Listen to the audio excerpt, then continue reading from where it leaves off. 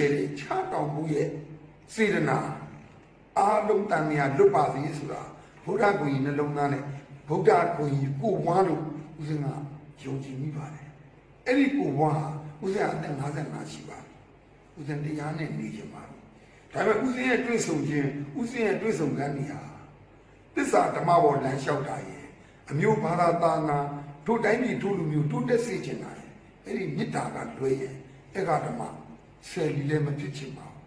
ရှိခဲ့တဲ့လူ့ဘဝစီးပွားတော်စွန့်ပြရည်တာဆယ်လီလည်းသိမှာပါပဲဘလောက်ပဲနာမည်ကြီးကြီးဘုရားအောင်ဆန်တယ်မရှိတော့ဘူးအေးတကယ်ကိုတရားတော်သိရင်တော့မရှိတော့တဲ့ဗုဒ္ဓရဲ့နောက်ကိုလိုက်နေတာဉာဏ်ကြောင့်ဒါကြောင့်ဦးဇင်းတို့သိတဲ့ဉာဏ်လိုပဲဆရာ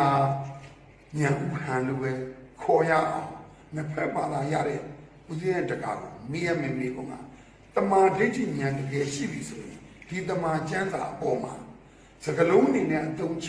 ဒိဋ္ဌိဆိုတဲ့အမြင်နဲ့သုံးသပ်ပြပါလို့တင်ပြရင်တကားတော့ကိုဉာဏ်ဥပ္ပံဆက်လက်ဖြေချပြပါလို့အခုကဘာကြီးမှာဘာသာတရားတွေကွဲပြားနေတာအကြောင်းမှန်ကိုမသိလို့ကွဲပြားနေတာအကြောင်းတရားရှာတဲ့အခါမှာမတူညီမှုကြောင့်ဘာသာတရားတွေကွဲပြားနေတာကြည့်လေအကြောင်းတရားဘယ်လိုရှာတော့ ကဘာကြီးကဘာကြောင့်ဖြစ်လာလဲလူတွေကဘာကြောင့်ဖြစ်လဲဘယ်ကရောက်လာလဲဟောစဉ်းစားကြမယ်လေကဘာကြီးကဘာကြောင့်ဖြစ်လာလဲလူတွေကဘယ်ကရောက်လာတာလဲရှားတတ္တဝါတွေရောဘယ်ကရောက်လာလဲအကြောင်းတရားရှာတဲ့အခါကျတော့တကယ်အစစ်မှန်အကြောင်းတရားသည်တိတ်ပြီးတော့နက်နဲလို့လက်လန်းမမီတော့မမြင်နိုင်ဘူးမမြင်နိုင်တော့ဘာသွားတွေးတော့ဆိုရင်သာဝရဘုရားကြီးဖန်ဆင်းလို့လို့ဆိုတဲ့အကြောင်းတရားကိုပြောတော့တာ ဒါလွယ်လွယ်နဲ့အကြောင်းရှာလိုက်တာတကယ်ဟုတ်လားလို့ဆိုမဟုတ်ဘူးဆံရအကြောင်းတရားတွေရှိတယ်လောကကြီးမှာကဘာကြီးမှာလည်းပဲဆံရအကြောင်းတရားတွေရှိတယ်တတ္တလောကကြီးမှာလည်းဆံရအကြောင်းတရားတွေရှိတယ်ဩကာသလောကကြီးမှာလည်းပဲဆံရအကြောင်းတရားတွေရှိတယ်သူဆံရအကြောင်းတရားတွေကြောင့်ဖြစ်နေတယ်အဲ့ဒီမှန်ကန်တဲ့ true cause ကိုရှာပြီးတော့မတွေ့သည့်အတွက်ကြောင့်ဟော သာဝရဘုရားဖန်ဆင်းလို့ကဘာကြီးဖြစ်လာရတယ်လူသားတွေဖြစ်လာရတယ်ဆိုတဲ့အယူမှားယွင်းတဲ့အယူဆတရပေါ်လာအဲ့ဒါကိုဝိသမဟေတုဒိဋ္ဌိလို့ခေါ်တယ်မမှန်မကန်တွေးခေါ်လာတဲ့အမြင်တစ်ခုတဲ့မဟုတ်ဘဲနဲ့ဟုတ်တယ်ထင်ရင်အမှားပဲလေဒါမဖန်ဆင်းမဲ့နဲ့ဖန်ဆင်းတယ်လို့ထင်ရင်အမှားပဲဟောတကယ်ဖန်ဆင်းတာမှမဟုတ်ပဲအဲ့ဒါမှဝိသမဟေတုဒိဋ္ဌိတဲ့ အဲ့ဒါကိုလက်ခံသူရှိတယ်လို့လက်မခံတဲ့လူလည်းရှိတယ်တချို့ကြတော့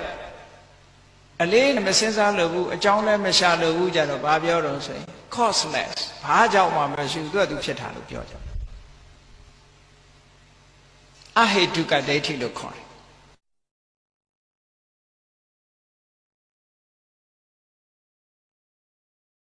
ကြောင်းဖြစ်နေတယ်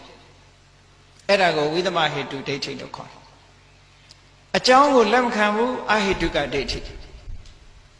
သူ့ဟာသူဖြစ်ချင်လို့ဖြစ်တာဘာကြောင့်မှမရှိဘူးလို့ဒီလိုယူဆတဲ့ပုဂ္ဂိုလ်တစုကပေါ်လာ။ဩဒီအကြောင်းတရားရှာရင်းနဲ့မှန်ကန်တဲ့အကြောင်းကိုရှာမတွေ့နိုင်သည့်အတွက်ကြောင့်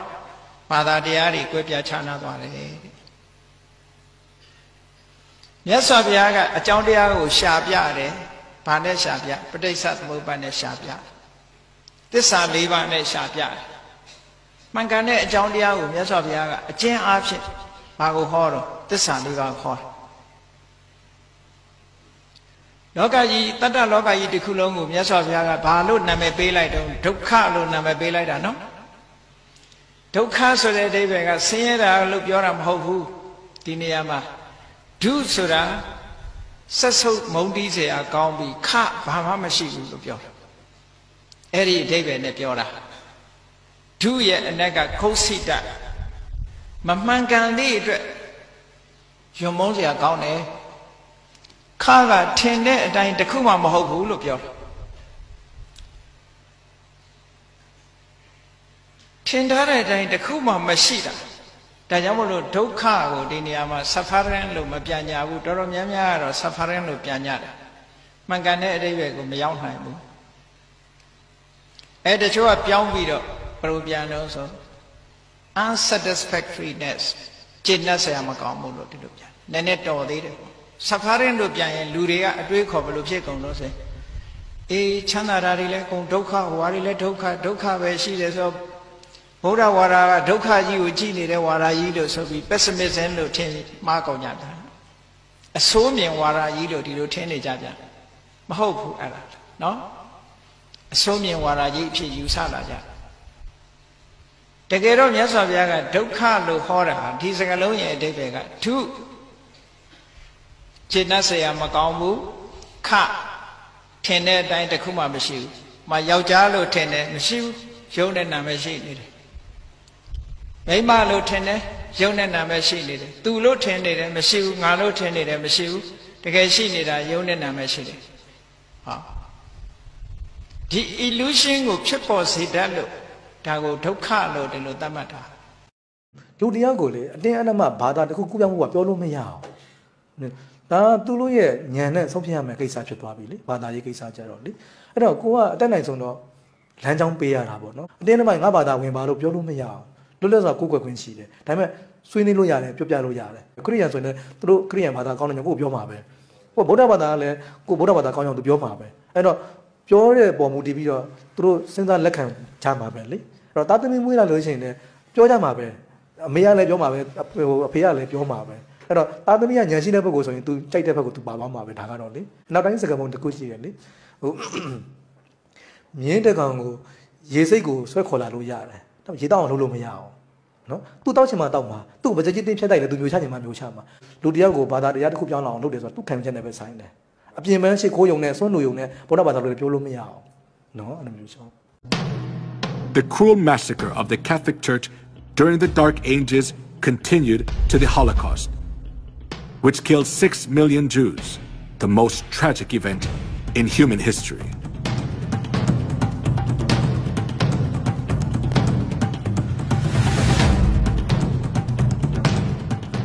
From 1933 to 1945, 6 million Jews, including 1.5 million children, were slaughtered in 15 European countries, such as Poland, Russia, Austria, Czechoslovakia, Hungary, France, Belgium, Luxembourg, Italy, Netherlands, Norway, Romania, Yugoslavia, and Greece.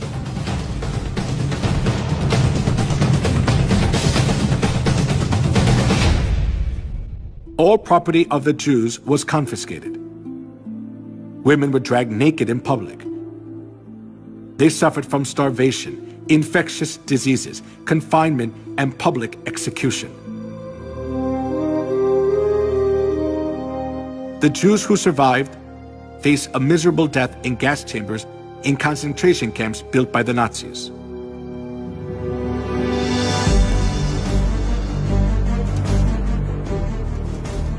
When the gates of the concentration camps for the Jews were opened as World War II ended, the world was shocked.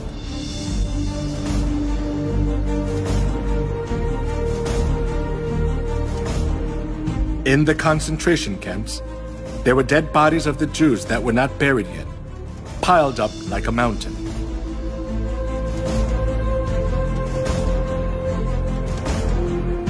While Hitler massacred six million Jews under the pretext of ethnic cleansing, the Catholic Church publicly advocated Hitler's genocide of the Jews, claiming it stood for anti Semitism.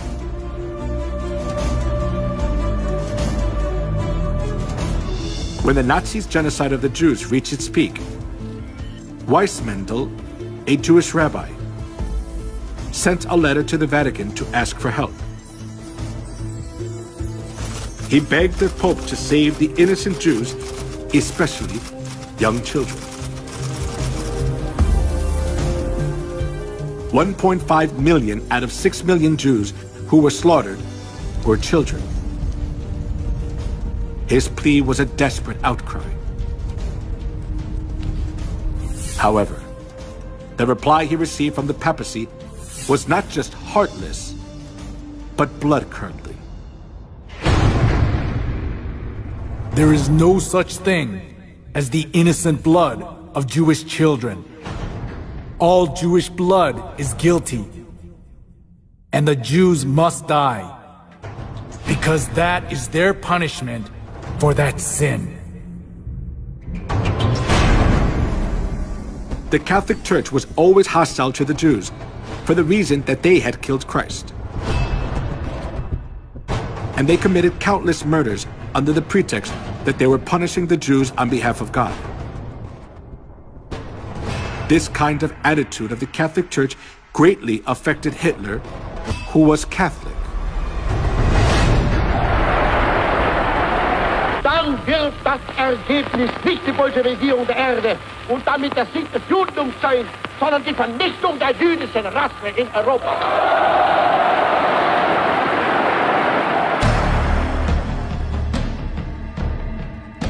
Hitler was a fervent Catholic. The reason Hitler extremely hated the Jews was from the historical experience of the Catholic Church, which had treated the true Christians and the Jews mercilessly for 1600 years. For this reason, Hitler was able to commit the Holocaust, sending 6 million Jews to gas chambers without hesitation.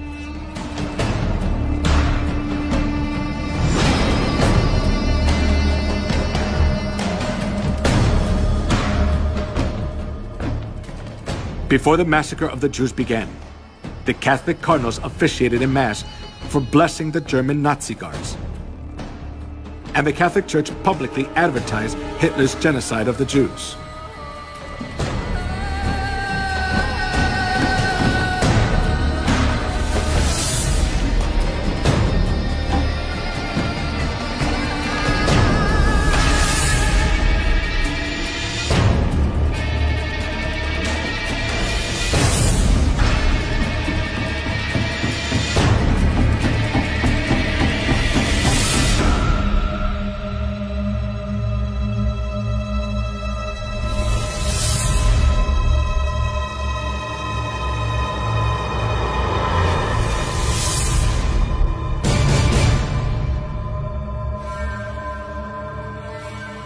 The Catholic Church has committed crimes against humanity for centuries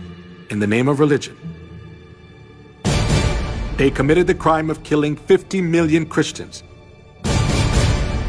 and the Holocaust of killing 6 million Jews.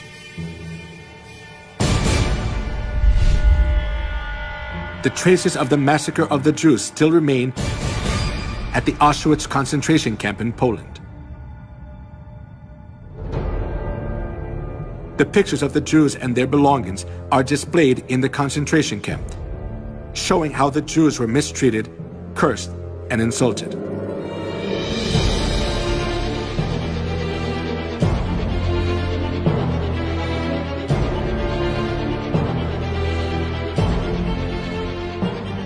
These horrible times remain in the records of history. But all the errors of the Catholic Church are disappearing from people's memories, little by little.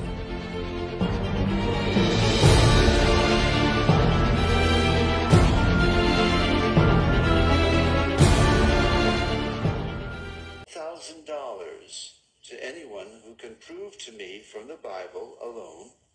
that I am bound to keep Sunday holy.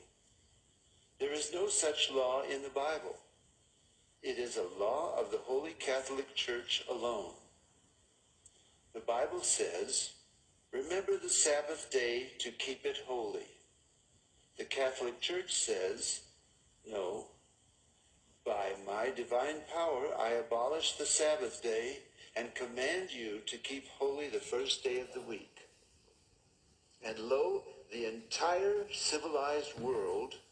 bows down in a reverent obedience to the command of the Holy Catholic Church. T. N. Wright, CSSR, in a lecture at Hartford, Kansas, February 18, 1884. The Catholic Church for over 1,000 years before the existence of a Protestant, by virtue of her divine mission, changed the day from Saturday to Sunday. The Catholic Mirror, September 23, 1893. Question. Which is the Sabbath day? Answer. Saturday is the Sabbath day. Question. Why do we observe Sunday instead of Saturday? Answer. We observe Sunday instead of Saturday because the Catholic Church in the Council of Laodicea, AD 336, transferred the solemnity from Saturday to Sunday. Peter Geierman, The Convert's Catechism of Catholic Doctrine, second edition, 1910, page 50. Question. Have you any other way of proving that the church has power to institute festivals of precept? Answer. Had she not such power, she could not have done that in which all modern religionists agree with her. She could not have substituted the observance of Sunday, the first day of the week, for the observance of Saturday, the seventh day, a change for which there is no scriptural authority. Stephen Keenan, A Doctrinal Catechism, page 174. There is but one church on the face of the earth which has the power or claims power to make laws binding on the conscience, binding before God, binding under penalty of hell fire. For instance, the institution of Sunday. What right has any other church to keep this day? You answer by virtue of the third commandment. The papacy changed the fourth commandment and called it the third, which says, Remember that thou keep holy the Sabbath day. But Sunday is not the Sabbath. Any schoolboy knows that. Sunday is the first day of the week. I have repeatedly offered $1,000 to anyone who will prove by the Bible alone that Sunday is the day we are bound to keep. And no one has called for the money. It was the Holy Catholic Church that changed the day of rest from Saturday, the seventh day, to Sunday, the first day of the week. T. N. Wright, CSSR, in a lecture delivered in 1893.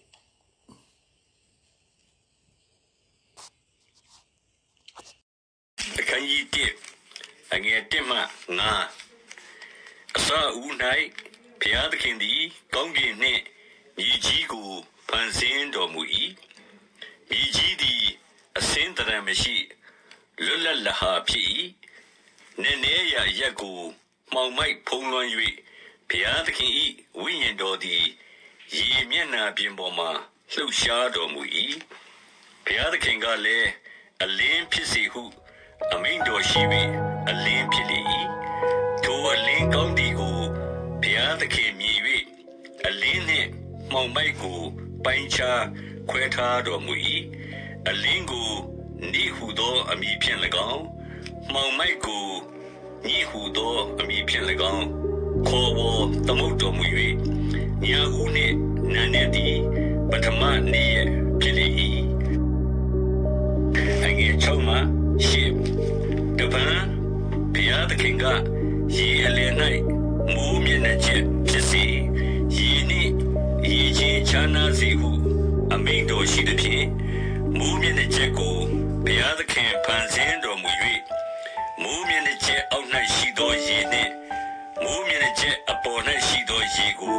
ပိုင်းခြားတော်မူသည့်အတိုင်းဖြစ်လေ၏မိုးမျက်နှာချက်ကိုလည်းမူကောင်းကင်ဟူသောအမည်ဖြင့်ဘုရားသခင်ကိုယ်ဝသမုတ်တော်မူ၍ညာဦးနှင့်နန်းနဲ့သည်ဒုတိယနေ့ရက်ဖြစ်လေ၏အငယ်ကူမ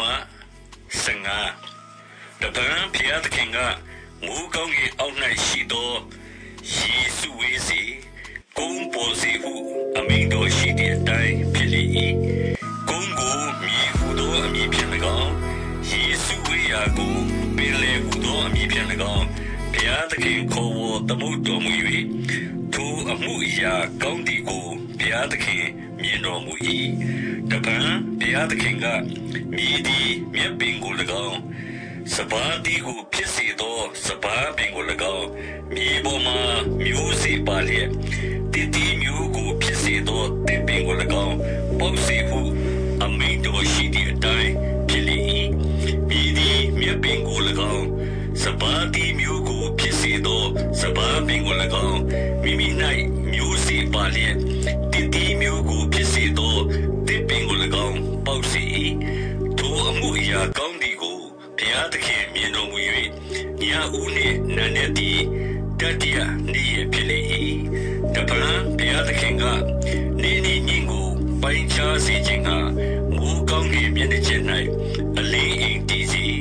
နမိတ်လက္ခဏာချိန်ချက်သောအချိန်နေ့ရက်အပိုင်းခြား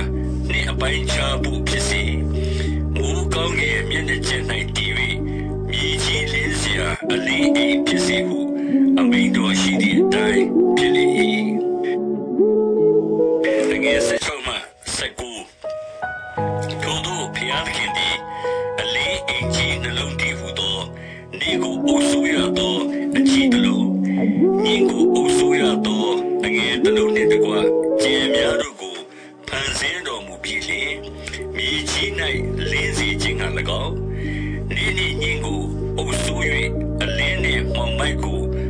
ပိုင်းခြားစေခြင်းက၎င်းမိုးကောင်းငယ်မျက်နှာချက်၌ဘုရားသခင်ထားတော်မူ၏ထိုအမှုရာကောင်းသည်ကိုဘုရားသခင်မြင်တော်မူ၍ညာဦးနှင့်နန်းနေသည်စတုထနေရဖြစ်လေ၏အငယ်20မှ23တပံဘုရားသခင်ကအသက်ရှင်၍လှုပ်ရှားတတ်သော ပရိသန်တို့ကိုရည်သည်များပြားစွာမွေဖွားစေငင်တို့လည်းမြေပေါ်မူကောင်းငယ်မျက်နှာချက်ပြင်းဝဲပြန်စေဟုအမိန်တော်ရှိ၏ထိုတို့လျင်ရည်သည်တိရစ္ဆာန်အမျိုးအလိုက်များပြားစွာမွေဖွား၍ငါကြီးအစရှိသောအသက်ရှင်၍လှုပ်ရှားတတ်သောတိရစ္ဆာန်အပေါင်းတို့ကို၎င်းပြန်တတ်သောငှက်မျိုးအပေါင်းတို့ကို၎င်းဘုရားသခင်ဖန်ဆင်း၍ထို အမှုရာကောင်းသည်ကိုမြင်တော်မူ၏ဘုရားသခင်ကလည်းများပြားစွာမွေဖွားကြသောပင်လေကြီးများကိုပြည့်စေကြသောငှက်တို့လည်းမြေပေါ်၌များပြားစေသည်ဟုထိုတိရစ္ဆာန်တို့ကိုကောင်းချီးပေးတော်မူ၍ညာဦးနှင့်နန်းနေသည်ပစ္စမနေရဖြစ်လေ၏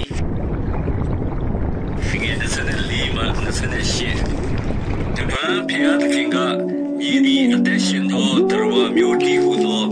အာရင်တို့၎င်းတောတတ်သောတိရစ္ဆာန်တို့၎င်းအာရင်မျိုးတို့၎င်းဝေဖွားစေဟုအမိန်တော်ရှိသည့်အတိုင်းဖြစ်လေ၏ထို့သောဖျားသခင်သည်တာရဲမျိုးတာရင်မျိုးမြေပေါ်မှတောတတ်သောတိရစ္ဆာန်မျိုးအပေါင်းတို့ကိုဖန်ဆင်း၍ထိုအမှုရာကောင်းသည်ကိုမြင်တော်မူ၏တပံဖျားသခင်က ငါတို့ပုံတရံနှင့်တညီတတရံဒီလူကိုဖန်ဆင်းကြစို့သူသည်ပင်လေငါတို့ကို၎င်းမိုးကောင်းကင်ငှက်တို့ကို၎င်းတားရင်တို့ကို၎င်းမြေတပြင်လုံးနှင့်တကွမြေပေါ်မှတောတတ်သောတရိษံအပေါင်းတို့ကို၎င်းအုပ်ဆိုးစေဟု အမိန့်တော်ရှိ၏ထိုတို့ဘုရားသခင်သည်မိမိပုံတရံနှင့်အညီလူကိုဖန်ဆင်းတော်မူ၏ ဘုရားသခင်၏ပုံတရံတော်နှင့်အညီလူယောက်ျားလူမိန်းမကိုဖန်ဆင်းပြီးလျှင်အချင်းတို့များပြားစွာမွေးဖွားကြလော့မြေကြီးကိုပြည့်စည်၍နိုင်ကြလော့ပင်လေငါတို့ကို၎င်းမိုးကောင်းကင်ငှက်တို့ကို၎င်းအသက်ရှင်၍မြေပေါ်မှာလှုပ်ရှားတတ်သောတိရစ္ဆာန်အပေါင်းတို့ကို၎င်း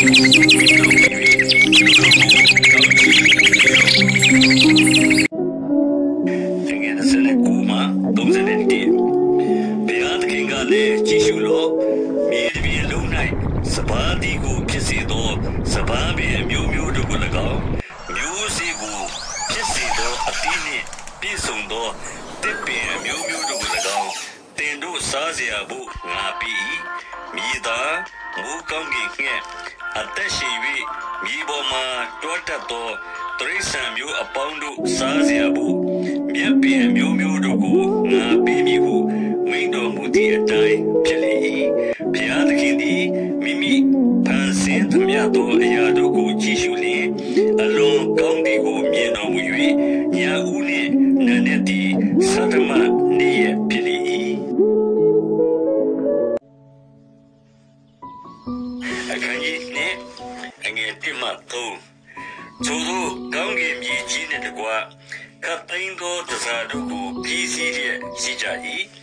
သတ္တမနေ့ရက်ရောက်လျင်ဘုရားသခင်သည်ဖန်ဆင်းသောအမှုကိုလက်ဆက်ပတ်တော်မူခဲ့ပြီးသည်ဖြစ်၍ဖန်ဆင်းသမျှသောအမှုရာတို့သည်ပြည်စည်းပြီးမှထိုတတ္တမနေ့၌ ညီဝတ်စွာနေတော်မူ၏ထိုတတ္တမနေ့ကိုဘုရားသခင်သည်ကောင်းချီးပေး၍တန်ရှင်းစေတော်မူ၏အကြောင်းမူကားဖန်ဆင်းပြုပြင်တော်မူသော အမှုအရာအလုံးစုံတို့သည်ပြည်စည်းသောကြောင့်ထိုနေ့ရက်၌ညီဝတ်စွာနေတော်မူ၏အငယ်လေးမှခုနှစ်ဤအကြောင်းအရာကထာဝရရှင်ဘုရားသခင်သည်ကောင်းကင်နှင့်မြေကြီးကို ဖန်ဆင်းတော်မူသောနေ့ဖန်ဆင်းရာကာလ၌ကောင်းကင်နှင့်မြေကြီး၏မူလအထုပ်ပတ္တိပေတည်းကဲဘာပြောချင်တာလဲဆိုတော့တေချာနာတော်မှာယုဟာအမှန်တကယ်တော့ခရိယန်ဘာသာရေးစကားရပြောတယ်ဘာဘာသာခရိယန်ဘာသာရေးအကြောင်းကိုပြောတယ်ယုကငယ်ငယ်ကခရိယန်မဟုတ်ပါဘူးဗုဒ္ဓဘာသာပါ ယနေ့တိုင်အောင်ယုရဲ့မိခင်သည်ဗုဒ္ဓဘာသာဖြစ်ပါတယ်ဗုဒ္ဓဘာသာခြေရဝါဒကိုကိုးကွယ်တဲ့သူဖြစ်ပါတယ်ဒီနေ့တိအောင်ကျွန်တော်မိခင်ကိုသွားမိခရိယန်အကြောင်းမသိပါဘူးနားလည်းမလည်ပါဘူးသူဘာမှမသိပါဘူးခရိယန်ဆိုတာကြားတော်မကြားဘူးပါဘူးကျွန်တော်မိခင်ဘာကြောင့်လဲကျွန်တော်တို့အဆိုင်ဝိုင်းနေမှာအများသောအပြင်ဗုဒ္ဓဘာသာပဲရှိပါတယ် ခရိယန်မဟုတ်ပါဘူးဒါပေမဲ့ကျွန်တော်ကအင်္ဂန်နေထွက်လာပြီးတဲ့နောက်ပိုင်းကျွန်တော်ခရိယန်ဘာသာရေးရဲ့ထိုင်းနယ်စပ်မှာရောက်တယ်ထိုင်းနယ်စပ်မှာရောက်တော့ခရိယန်ဘာသာဆိုတာကျွန်တော်ကြားဘူးတယ်ခရိယန်ဘာသာဖြစ်ဖို့ဆိုတာကျွန်တော်လုံးဝရည်ရွယ်ချက်မရှိဘူးဘာလို့လဲဆိုတော့ကျွန်တော်ဟာဗုဒ္ဓဘာသာမိသားစုအတိုင်းဝိုင်းကမွေးလာတဲ့အတွက်ကြောင့် ကျွန်တော်ဘာလုပ်ထင်လဲဆိုတော့ကျွန်တော်ရဲ့စိတ်ဆန္ဒလောကကိုကျွန်တော်စိတ်ကုန်တယ်တော့ထွက်မယ်ရစိတ်လုပ်မယ်ဒါပဲကျွန်တော်ရဲ့ဆန္ဒရှိတယ်သို့သောဒီနေ့ကျွန်တော်မမျော်လင့်မယ်ကျမ်းစာဖတ်ဖြစ်တယ်ကျမ်းစာဖတ်တယ်ကျမ်းစာကိုနားလည်တဲ့အခါမှာကျွန်တော်ခရိယန်ဘာသာကြီးခရိယန်ဘာသာကိုကိုကိုွယ်တယ်ကိုကိုွယ်တဲ့အချိန်မှာကျွန်တော်ခရိယန်ဘာသာကြီးအကြောင်းကိုကျွန်တော်စနစ်တကျလေ့လာယူတယ်သင်ယူတယ် သင်ယူပြီးမှကျွန်တော်ခရိယန်ဘာသာတရားကိုဝင်တာပါဒီထဲမှာပါတဲ့ဘုန်းကြီးတွေဦးစင်းတွေနော်ခရိယန်သူတို့ဟာဗုဒ္ဓဘာသာယဟန်တွေဖြစ်တဲ့အတွက်ကြောင့်ခရိယန်ဘာသာရေးနားလည်မှလည်းမဟုတ်ပါဘူးဒီထဲမှာကျွန်တော်ထည့်သွားတဲ့အစံဖိုင်တွေတွေ့လိမ့်မယ်။ဘာလဲဆိုတော့ခရိယန်ဘာသာရေးကကျွန်တော်နောက်ပိုင်းကျတော့ကျွန်တော်နားလည်လာတဲ့ခါကျတော့ပထမကျွန်တော်ဘူးမသိဘာမသိနဲ့ခရိယန်ဘာနဲ့မှကျွန်တော်စဝင်သွားတယ်။ ဘူးမသိဘာမသိဆိုတာအကုန်မသိဘူး။ယုံကြည်ခြင်းတစ်ခုပဲကျွန်တော်သိတယ်။ခရိယန်ဖြစ်ရင်ယုံကြည်ရင်ကတည်ခြင်းရမယ်ဆိုပြီးကျွန်တော်ခရိယန်ဘာသာနဲ့ဝင်သွားတယ်။ဝင်သွားပြီးတဲ့နောက်ပိုင်းမှာကျွန်တော်အဲ့ဒီမှာနောက်ပိုင်းတော့ကျွန်တော်ဘာကိုစဉ်းစားမိလဲဆိုတော့ခရစ်ယာန်ဘာသာမှာနော်ဥပုံနေနေရဖြစ်နေတာကျွန်တော်သွားတွေ့တယ်ခ ရစ်ယာန်ဘာသာမှာဥပုံနေနေရရှိတယ်တနင်္ဂနွေနေ့နဲ့စနေနေ့ဘာဖြစ်လို့ခရစ်ယာန်ဘာသာမှာဥပုံနေနေရဖြစ်တာလဲဆိုတဲ့တမန်ကြောင့်ကျွန်တော်လေ့လာကြည့်ရတယ်လေ့လာကြည့်တဲ့အခါမှာခရိယန်ဘာသာရေးရဲ့အော်ရှုပ်ပါလားဆိုတော့ကျွန်တော်နားလည်ခဲ့တယ်။အဲဒီတော့ကျွန်တော်ဆိုလိုချင်တာကနော်ယနေ့ဗုဒ္ဓဘာသာတွေနေနဲ့ ခရိယန်ဘာသာရေးကို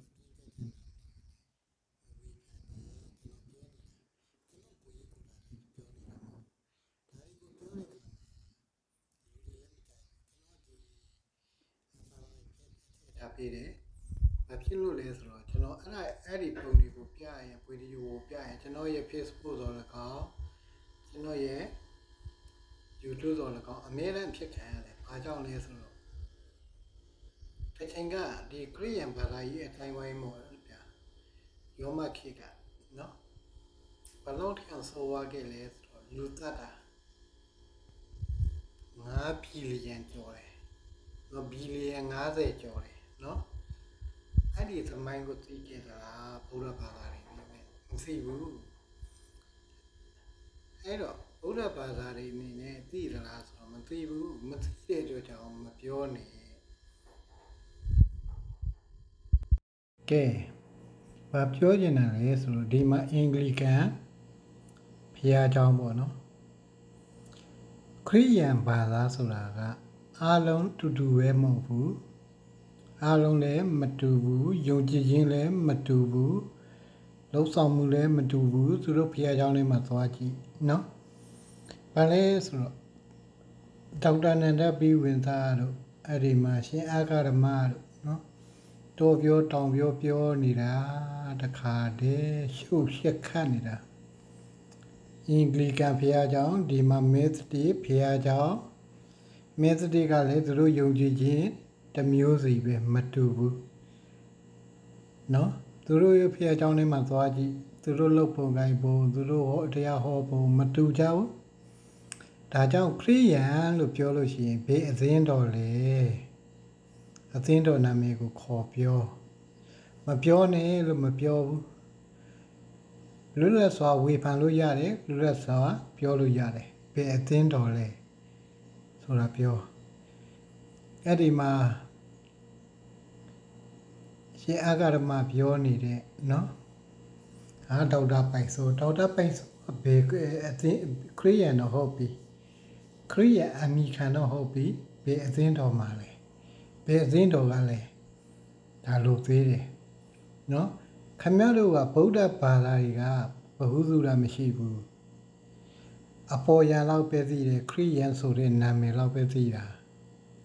နော်ယုံကြည်ခြင်းလည်းမတူဘူးလှုပ်ဆောင်ခြင်းလည်းမတူဘူးဒီမှာကြတော့နေချင်းခရိယန်နေချင်းခရိယန်ကြတော့အင်္ဂလိပ်လို baptist လို့ခေါ်တယ် နော် Methodist Methodist ကလည်း Methodist လို့ခေါ်တယ်အဲ့ဒီမှာခုနက Anglican လည်း Anglican လို့ပဲခေါ်တယ်နော်ခရိယန်ဆိုပေမဲ့မတူကြဘူးဘယ်ခရိယန်လဲပြောချင်တဲ့ခရိယန်ကဘယ်ခရိယန်လဲ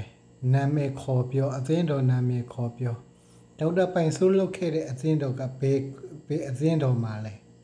ဘယ်အသင်းတော်မှာတရားဟောဆရာလုပ်ခဲ့တာလဲ အဓိကပြောချင်ရင်ဒေါက်တာပိုင်ဆိုးလုပ်ခဲ့တဲ့အသင်းတော်နာမည်ပြောနော်ခရိယန်ဆိုအားလုံးဖန်ဆင်းရှင်ယုံကြည်တယ်လို့ပြောတယ်ဒါပေမဲ့မတူညီကြဘူးဘာကြောင့်မတူညီဘူးလို့ယူဦးပြောတာလဲအဲ့ဒီထဲမှာကျွန်တော်ထည့်သွားပေးတဲ့ဗီဒီယိုကျွန်တော်လုပ်ထားတဲ့ဗီဒီယိုရှိတယ်ကျွန်တော်တို့ကဘာမီကိုဖျားသခင်က6ရက်ဖန်ဆင်းနေ9ရက်မြောက်တဲ့နေ့မှာ ဖျားသခင်ကကောင်းကြီးပေးတယ်သာသမနေ့မှာဥပုသ်ဆောင်တယ်ဒီမှာကျတော့ယေဟောဝါသက်သေခံအသင်းတော်တဲ့နော်ခရိယန်ဆိုပေမဲ့ခရိယန်အားလုံးမတူညီကြဘူးသူတို့ရဲ့လှုပ်ဆောင်မှုသူတို့ရဲ့ယုံကြည်မှုမတူဘူးဘာလို့လဲဆိုတော့ပြောချင်ရင်ဘယ်သူလဲဘယ်အသင်းတော်လဲဘယ်ခရိယန်လဲဆိုတော့နာအသင်းတော်ရဲ့နာမည်ခေါ်ပြောဒါမှသာလေကျွန်တော်တို့လူတွေကနားလေမှာ ကိုပြောချင်တာတော့ဟုတ်တယ်ဒါပေမဲ့ကိုကဘ ഹു စုတာမရှိဘဲနဲ့ဆရာကြီးမလုပ်ပါနဲ့เนาะပြောချင်တာကเนาะဟာတခါတည်းသူများရှိမှခရိယန်ခရိယန်ဖန်ဆင်းရှင်ယုံကြည်တယ်ဒါပေမဲ့ပြောပြချင်တာဘာလဲဆိုတော့ယနေ့ကဘာပေါ်မှာဖန်ဆင်းရှင်ယုံကြည်တယ်ဆိုပေမဲ့ခရိယန်ချင်းလည်းမတူဘူးယုံကြည်ခြင်းလည်းမတူဘူးသူတို့လှုပ်ဆောင်ခြင်းလည်းမတူဘူး သူတို့ရဲ့သက်သေခံခြင်းလည်းမတူဘူးဘယ်အရာမှမတူဘူးเนาะဒီမှာခရိယန်တစ်မျိုးရှိသေးတယ် Lutheran Lutheran ဆိုတာဘယ်အသင်းတော်ဆိုတဲ့ခရိယန်တစ်မျိုးလေးရှိသေးတယ်เนาะခရိယန်ကြီးအဆိုပေမဲ့လည်းခရိယန်အားလုံးမတူဘူးပြောချင်ရင်ဘယ်ခရိယန်လဲဆိုတာကိုပြောလို့ရတယ်မပြောနဲ့မဆိုနဲ့မပြောဘူးဝေဖန်လို့ရတယ် ခရိယန်လို့ပြောလို့ရှိရင်ဘယ်အသင်းတော်ကလဲဆိုတာကိုအရင်ဆုံးနာမည်ခေါ်ပြောဒေါက်တာပိုင်ဆိုးလုပ်ခဲ့တဲ့ခရိယန်ဓမ္မတရားဟောဆရာဘယ်အကြောင်းမှလဲဘယ်ခရိယန်အကြောင်းဘယ်ဘုရားအကြောင်းကလဲခရိယန်လို့ခြုံငုံပြောတဲ့အခါမှာလူတွေရဲ့အမြင်မှာ လွဲမားနိုင်တယ်ဒါကြောင့်ရှင်းပြတယ်ခင်ဗျားတို့ကိုစာနဲ့ရှင်းပြတယ်မရဘူးเนาะစာနဲ့ရှင်းပြတယ် နားမထောင်ဘူးကျွဲပါစောင်းတီးတွေမလုံနဲ့အဘူးသူရမရှိရင်မရှိသလိုနေနော်ဗုဒ္ဓဘာသာဘုန်းကြီးကဗုဒ္ဓဘာသာဘုန်းကြီးစကားပဲပြောကိုအလုပ်ကိုပဲလုပ်နော်ပြောချင်တာဒီမှာကျတော့သာထမန်နေအသင်းတော်သာထမန်နေဥပုပ်အသင်းတော်သာထမန်နေဥပုပ်အသင်းတော်လို့ဘာလို့ခေါ်လဲကဘာပေါ်မှာဘယ်နေရာသွားသွားဘယ်နိုင်ငံမှာသွားသွား ဒီအသင်းတော်ကသူတို့ရဲ့ယုံကြည်ခြင်းကတစ်ကဘာလုံးမှာအတူတူပဲဘယ်လူမျိုးမဆိုဘယ်ဘာသာမဆိုเนาะဘယ်ဘာသာစကားပဲပြောပြောယုံကြည်ခြင်းအတူတူပဲဒါပေမဲ့တချို့သောအသင်းတော်တွေမှာမတူကြဘူးခရိယန်ဘာသာမှာနှစ်ချင်းတို့เนาะအများကြီးရှိတယ်ဒါပေမဲ့သာထမနေ့အသင်းတော်နဲ့တခြားသောအသင်းတော်တွေနဲ့တူသလားဆိုတော့မတူဘူးသာထမနေ့အသင်းတော်ကဘာလဲဆိုတော့ ဘုရားသခင်က6ရက်ဖန်ဆင်းနဲ့9ရက်မြောက်တဲ့နေ့မှာဥပုသ်ဆောင်နေ9ရက်မြောက်တဲ့နေ့မှာဥပုသ်ဆောင်နေတန်ရှင်းရနေ့ဥပုသ်နေ့ဆိုပြီးတော့ဥပုသ်ဆောင်နေစနေနေ့မှာတခြားသောခရိယန်တွေကတနင်္ဂနွေနေ့မှာဥပုသ်ဆောင်တယ်ဘာကြောင့်လဲဘာကြောင့်မတူညီတာလဲပြောချင်ရင်လိလာပြီးတော့စနစ်တကျလိလာပြီးမှပြော ဘာကြောင့်ဒီလိုပြောရတာလဲအာနော်မဖတ်တော့ဘူးပြောပြမယ်စလုံးသိတော့မြန်မာပါဝါဟိုမဖြစ်တော့သိမရှင်းဘူးအဲ့တော့မဖတ်တော့ဘူးအကြောင်းပဲပြောပြမယ်ဥပုံနေ့ကိုတန်ရှင်းစေခြင်းကထိုနေ့ရက်ကိုအောင်မေလို့6ရက်ပတ်လို့အလုံးမျိုးစုကိုစူးစမ်း၍လှုပ်ဆောင်လို့တဲ့ တတမနေ့ရက်ဒီအစီအီဖျားသခင်ဥပုံနေ့ဖြစ်၏တဲ့အစင်မဆရေးအသီးသာသမီကျွင်ယောက်ျားကျွင်မိန်းမဧည့်သည်အာခါနုအလုံးမလုံးရတဲ့ကျမ်းစာမှာဒီတိုင်းပဲရှိပါတယ်ထွက်မြောက်ကျမ်းအခန်းကြီး20အငယ်၈ကနေပြီးတော့အခန်းငယ်၈ကနေပြီးတော့7မှာဖတ်မယ်ဆိုတွေ့ရတယ်ဒီအတွက်ကြောင့်เนาะတခြားသောခရိယန်တွေနဲ့ကျွန်တော်တို့ခရိယန်တွေနဲ့လည်းမတူဘူး ဘာလို့လဲဆိုတော့ကပ္ပပေါ်မှာဘာပေါ်မှာခရိယန်ဆိုပြီးမတူသလားမတူ